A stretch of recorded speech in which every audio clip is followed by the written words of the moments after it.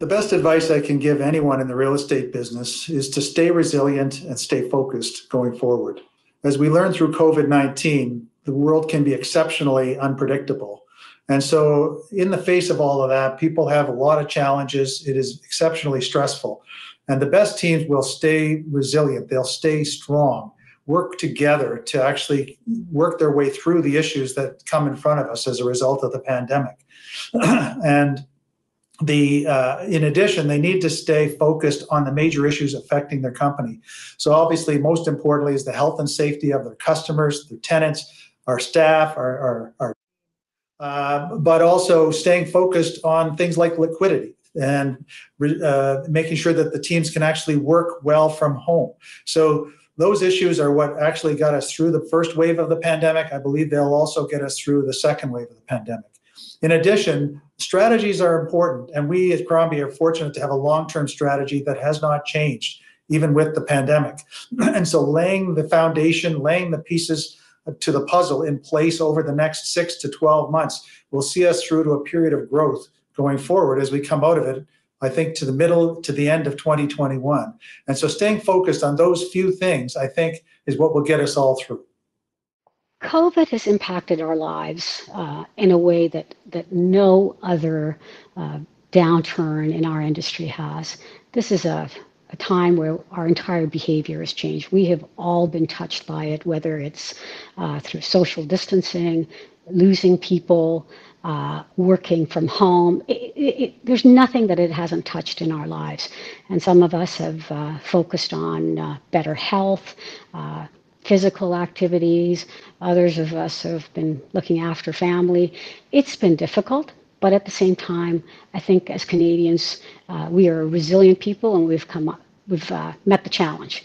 And I think that uh, in our world, in the real estate world, um, the real estate professionals, we are focused on resiliency and, and strength.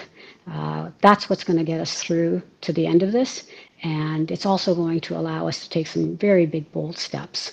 Uh, we're going to have to figure out how to work from home and also work in the office uh, and have some sort of balance, some sort of hybrid. Um, we're also going to be challenged. I mean, it's really, really hard not to have face to face meetings uh, those are the ones that allow you to make that gut decision. And it's super hard when you're looking at a screen to make that kind of judgment. And this is where the relationships that we've made become very, very important. The phone calls and the communication with our, our colleagues it's not just about work it's about how are your families doing? Uh, what has this been like for you? What happens next? And it's it's emerging. There's friendships that have formed from this that we didn't have before. Um, i think that it's also a time where you pivot. You take that resiliency and you look at what knowledge we have as we move forward into innovation, into prop tech, how are we going to use data analytics? I think it's going to be something that's going to impact all of us all the time. Um, how are we going to uh, look at the supply chain, look at e-commerce, look at manufacturing? How are we going to translate that into our business? I think we have the time right now to get through that there's sure there's going to be issues uh, as government programs stop uh, providing subsidies to tenants and how are they going to pay? And some of those tenants won't survive unfortunately. But i think between landlords and government we've all tried to make sure that those tenants can survive and make it to the other side. So i'm pretty excited. I think it's going to be great. Uh, the, the advice that I would give to a uh, any real estate professional, uh, myself included, uh, is this is absolutely a time to focus on clients. Uh, and when I say focus on clients, it's not about uh, your your revenue stream or your next quarter or your next deal.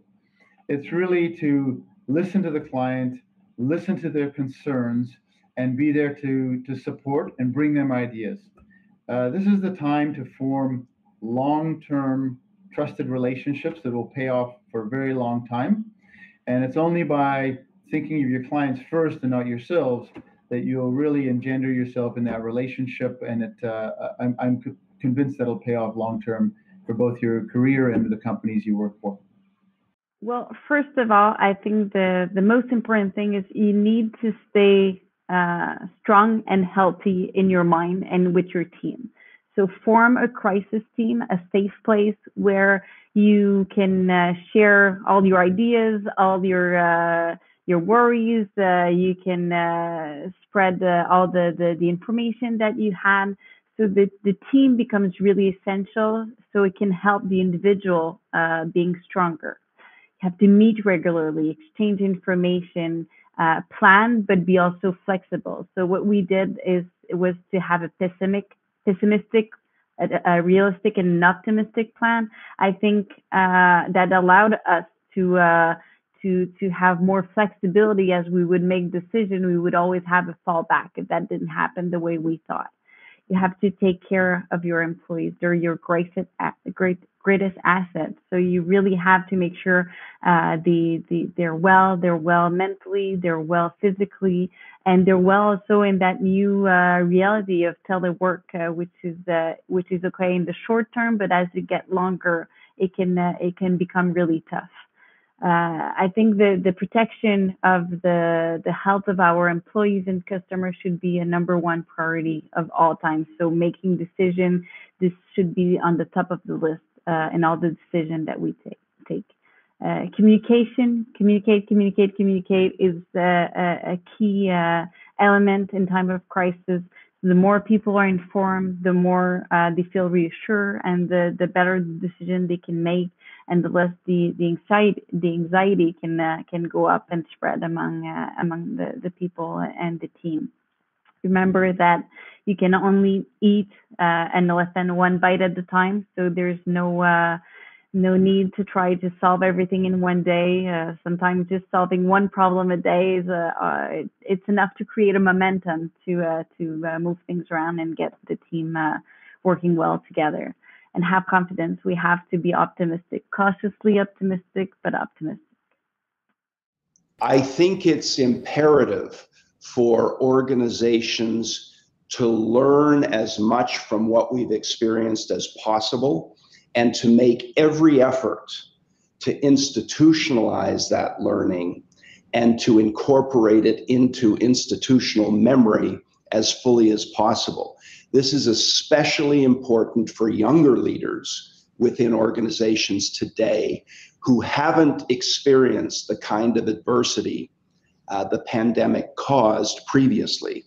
Older members of the industry, like myself, went through the first half of the 1990s, went through the global financial crisis, and had the benefit of working through those crises and learning what it's like uh, and what's necessary to operate in those situations. Younger leaders within the organizations today haven't had that good fortune until recently, and it's imperative that organizations take full advantage of the crisis and ensure that the knowledge derived from dealing in very, very adverse circumstances be incorporated into institutional memory. If that is done, then I think we will all emerge from this particular crisis stronger and better equipped to deal with the future. One of my friends said to me recently that we have a 100 year storm every 10 years now that was a very interesting commentary on climate change and I think is accurate. I think the same might also become true of what I'll call economic disruption or economic crises of the sort we've been going through. And to the extent the industry is better prepared to cope with them, and the current generation of leadership within the industry um, has experience in coping with them, will make us all stronger and better going forward.